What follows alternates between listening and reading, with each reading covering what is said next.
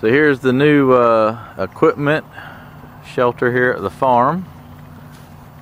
It was uh, three guys, they did a lot in one day. It's a 40 by 60. Uh, it's gonna be a pole barn. Uh, three sides, the front will be open, so it'll be five bays. Should be, well, it's 60, so it should be probably, I think in between the bays, like 11 and a half feet or something like that. I forgot what it worked out to be. But it was just three guys that worked uh, yesterday on this. Got all the poles put in and they're all treated, but they still took the extra time to wrap them up for a little extra protection. And I liked when they uh, when they augered the holes, they had these precast like little concrete pads that they put down in the hole. Uh, they're like eight inches, eight to ten inches thick, and it's what it was the diameter of the auger bit, so that these poles actually had something solid to sit on. So you, you got more of a bearing weight over the whole surface of the hole versus just you know the six by six post, and then they poured concrete around it, and they did the post. I think these are. Not sure what they did back here, the centers. I think those are eight foot on centers. That's what that worked out to be. But they're doing a treated band across the top. And then they were marking it out yesterday. I'm not sure. But I think the uh, the rest of these two buys, two by what are those tens, will pretty much wrap around it like this so that the 10 has something to screw to. It's going to have metal sides and metal back. And the trusses came today. They got those dropped off out here. It finally dried some. Gosh, it was wet out here. I had to come out here with a tractor. I mean, you get stuck out here. It was so wet. I'll have to cut all this out and put some gravel out here. But here's the trusses. That's actually the gable end right there. And he had, uh, obviously they got the webbing in there, but he had them put these uh, braces right here so they have something to screw the tin to as it's running vertical. Guy seems to know what he's uh, what he's doing. They're uh, Mennonite hay barn builders and uh, they got the they got the barn building down pat. So he said they should uh, be able to get the top band put on and all these trusses set tomorrow. So when I come back from home from work, we'll see what they got done. They're all going to set these trusses with that skid steer. They got like a little boom pole attachment over there. I like to see that, but I'll probably be gone when they set that. And here we are at the end of day three. Those three guys had a very productive uh, three days. And got all the uh, rafters put up there. Well, yesterday they put the the boards up for the uh, walls and the, the top for the uh, trusses to sit on. They doubled up three two by twelves and notched them and bolted them in and got a couple they got the gable end trusses set and then uh, today they finished putting all the trusses up and all the slats for the tin to sit to um, screw to. Had a pretty uh, pretty productive week or three days. Their uh, metals ordered it won't come in till Tuesday so it'll be Wednesday before they uh, uh, can come back and put the wrap wrap it with metal. It's gonna be three sides with just the front open. It's got three foot overhang. Um, keep kind of help keep the rain from blowing into it. And he'll um, there's no overhang on the sides. He's actually going to wrap that in metal so that it's actually uh, a nice uh, pretty much a trim on it. so there's no way it can leak or anything.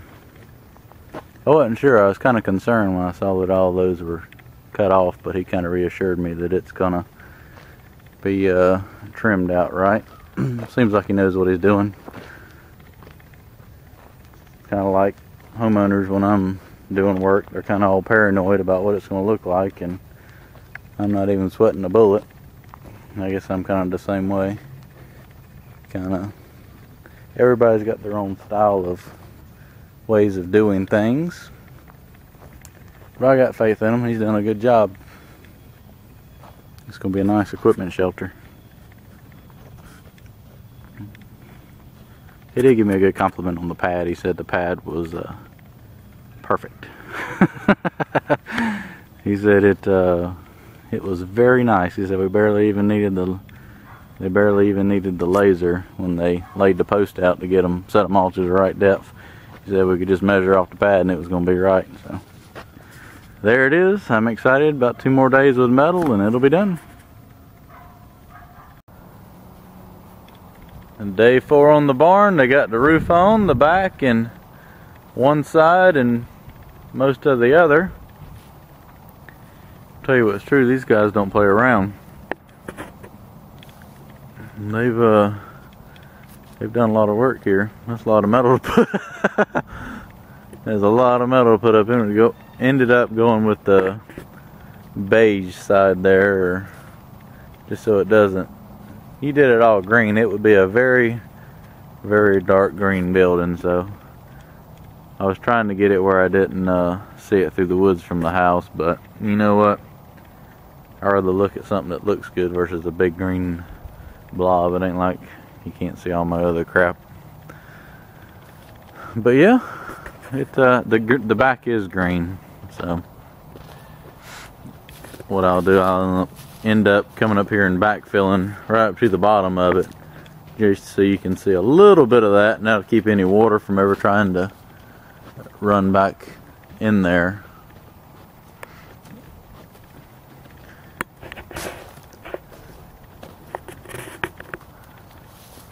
yeah back will be green I'm not sure how they do the corner there but there's some trim pieces that go all the way around it and you got the green on the back back here. If it was all green, she'd be dark, no doubt. But that'll kind of, when you're looking from the back of the house back there across here, you won't see a big massive beige building. You can see the back of it right here. I'm uh, I've been pleased with the work they've done. I do the same back here, come up here and backfill it up on that board kind of get this slope graded out and spread that out and maybe put like some wood chips or something on it just so it doesn't wash. So there's going to be a lot of water coming off this off this roof that's going to pour down and could possibly erode this. But yeah a little bit more and finish the ridge cap and be done It'll be about four and a half days on this barn. That, that's not bad.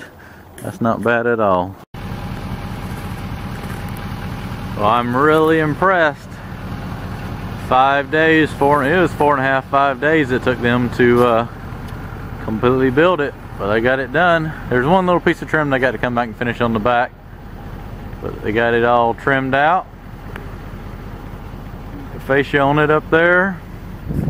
I mean, look at that perfect. Look at the screws. Just, everything is just as perfect as you can ask for. I mean, look at that. Look how straight the screws are. It's just fantastic work they do. Absolutely fantastic. They run, I guess they were one piece of trim short. They got to come back and finish the corner but I'm sure they'll. And look, cleaned up everything. There's a random screw here and there, but everything, just the way they leave the job is just, I love it. No big mess for me to clean up. Got my corner trim on. The trim up top.